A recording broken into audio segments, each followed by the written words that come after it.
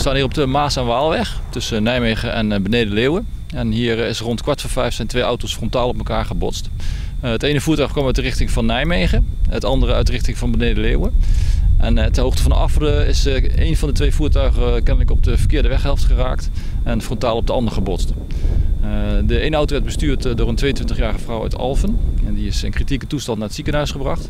En de andere auto werd bestuurd door een meneer, waarvan ik de identiteit niet weet. En die is licht gewond geraakt en ook naar het ziekenhuis ter controle gebracht. Uh, voor het ongeluk waren alle hulpdiensten te plaatsen om de vrouw uit haar auto te bevrijden.